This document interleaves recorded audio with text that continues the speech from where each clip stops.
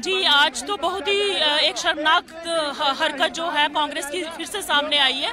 कांग्रेस को तो हमेशा यही कहा जाता था कि कांग्रेस एक ऐसी पार्टी है जो कि स्टार्टिंग से ही एक स्कैम्स जो है हमेशा करती आ रही है। अगर हम थ्री जी स्कैम की बात करें कोलगेट स्कैम की बात करें जेट स्कैम्स की बात करें, और एक फिर से जो है एक बहुत बड़ा स्कैम जो है, कांग्रेस पार्टी के एमपी ने जो है वो किया है।